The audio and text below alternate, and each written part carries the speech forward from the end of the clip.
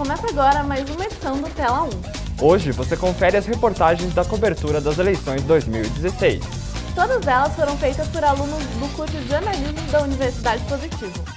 Mais de 100 alunos atuaram como repórteres e acompanharam o voto dos candidatos à Prefeitura de Curitiba.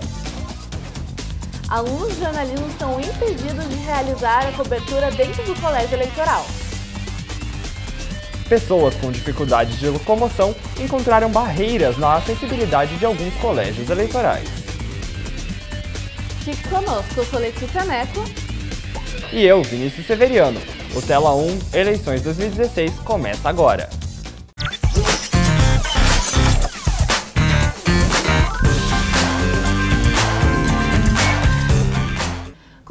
120 ocorrências registradas em todo o Paraná, a prisão eleitoral garante que sejam julgados crimes que violam a lei no momento da ação. Porém, equívocos podem acontecer e é o que mostra na reportagem de Nathalie Oda. Até o final da tarde deste domingo de eleições, foram registradas cinco ocorrências relacionadas a crimes eleitorais na cidade de Curitiba. Um dos casos envolveu a candidata vereadora do PT, Giane Erlan, que foi acusada de boca de urna. A candidata compareceu ao Fórum Eleitoral por cerca das duas horas da tarde para prestar mais esclarecimentos. Falaram que eu estava fazendo boca de urna, mas não assim no sentido de estar tá falando, não. É no sentido de estar tá aparecendo como candidata no lugar, no, no, no, na comunidade onde eu moro.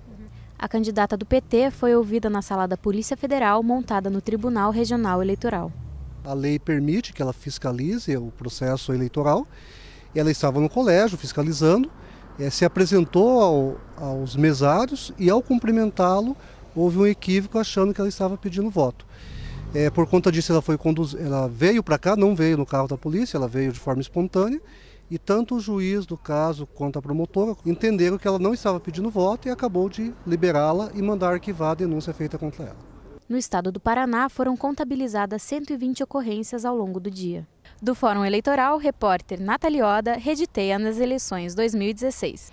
Mais de uma hora. Este foi o tempo que muitos eleitores tiveram que esperar para votar por conta de uma urna eletrônica com problemas. Estamos no Colégio Positivo Júnior, onde os eleitores da seção 311 estão há mais de uma hora esperando para poder votar. O motivo é que a urna quebrou. Dona Iracema, a senhora chegou qual horário aqui? Cheguei uma e meia da tarde. Daí fui almoçar, a urna estava estragada, eu fui almoçar, almocei, retornei e agora continua com o problema. Eles disseram que arrumaram e depois de 15 minutos voltou é, a quebrar. É isso aí, eles arrumaram, acho que uns 15, 20 minutos funcionou e quando eu voltei estava enguiçado novamente. Tá ok, então muito obrigada, Dona Iracema. Eu sou Isabela Moreira, da Universidade Positivo, Rede T nas eleições 2016. Mesmo tendo direito ao voto, eleitores com necessidades especiais tiveram dificuldades para votar no maior colégio eleitoral do Paraná. O problema com a acessibilidade causou transtorno e exigiu adaptações. O Colégio Senhorinha de Moraes, no bairro Cajuru, em Curitiba, é o maior colégio eleitoral do estado do Paraná, com mais de 8 mil eleitores. Das 21 zonas eleitorais que o colégio atende, 18 são direcionadas às pessoas que têm alguma dificuldade de acessibilidade. No Brasil, o voto é obrigatório para as pessoas maiores de idade até os 70 anos. Mas e aí? Será que todos os colégios eleitorais têm estrutura para receber os eleitores? No Senhorinha de Moraes há pedras, buracos, escadas e improvisos. A única coisa que não há é acessibilidade.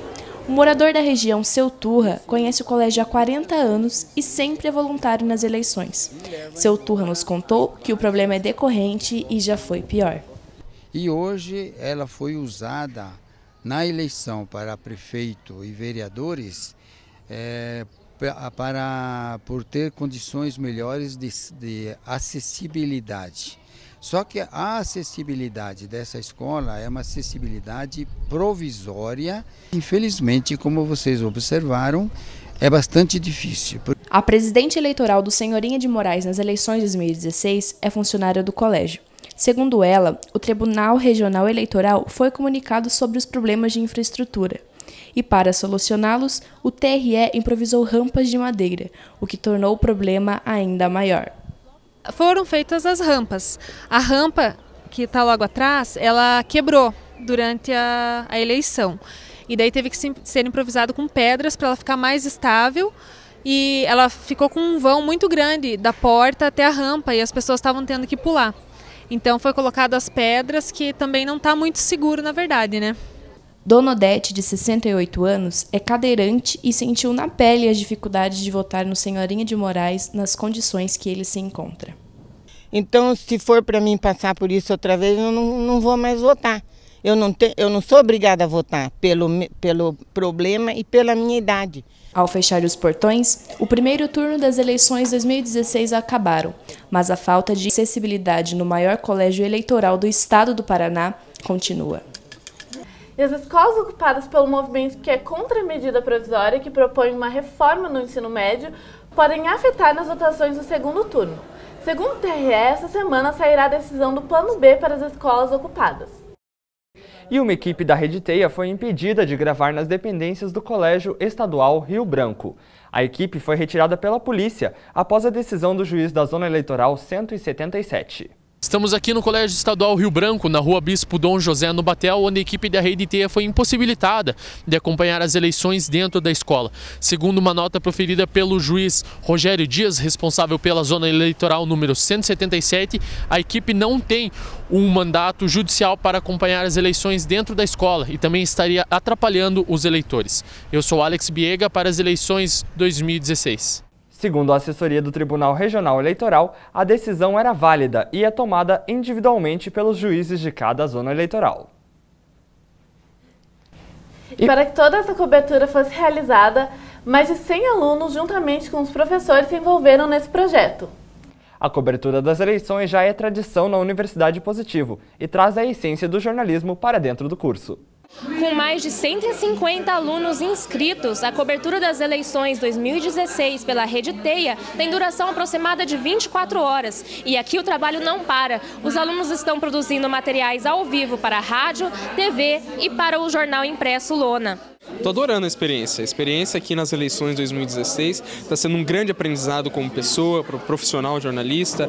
Você conhece pessoas novas de outros turnos, da manhã, da noite. Esse contato, essa troca de experiências é muito interessante e deve ocorrer. Isso então é algo que para a vida dos profissionais aqui, para a vida de nós todos, não como pessoas também, vai ser muito bom. Eu fiz rádio agora com o Deia durante duas horas, então ficar ao vivo no rádio, para quem ama como eu rádio, é uma experiência muito incrível. Eu adorei, estou adorando. Eleição 2016 é isso aí, aprendizado, divertimento e gás, né? Porque trabalho aqui não para. É a minha terceira eleição no curso já. Eu participei lá de 2012, 2014 e agora 2016. É, eu comecei de manhã, com a minha equipe a gente foi cobrir a votação do Rafael Greca. Então a gente foi até o colégio Levanderley e lá a gente acompanhou toda a votação dele, dele, da mulher dele e tudo que aconteceu por lá. É a quarta cobertura da qual eu participo aqui na Rede Teia. Então você vê essa redação cheia, você vê tanta gente bacana, tantos profissionais trabalhando em prol dessa cobertura eleitoral, é sempre uma experiência muito legal de poder fazer parte mais uma vez e agradecer o convite da Universidade Positiva. Que eu não conheço nenhuma universidade que faça uma cobertura como essa. A gente está praticamente o curso inteiro envolvido, todos os professores. Né? Aqui o dia todo vai fazer 24 horas de trabalho, aqui desde do, das 10 horas de ontem com o pessoal dos Santinhos, que a professora Rosiane coordenou e todo o trabalho de hoje até o fim da eleição. Então é, é um trabalho exaustivo, mas que dá um prazer enorme é, perceber que vocês estão descobrindo como produzir um, uma cobertura dessas, como lidar com situações reais que são muito mais complicadas do que aquilo que a gente programa né, organizadamente durante as aulas e tal. É, essa situação um pouco caótica que dá para ver aqui até pela movimentação, ela é a situação que o jornalista vive no dia a dia. Então, uma vivência dessas é insubstituível na vida de um, de um estudante de jornalismo. Edição da 1 fica por aqui. Agradecemos a todos os alunos pela excelente cobertura. E agradecemos a sua companhia. Nos vemos na próxima edição. Até lá. Até lá.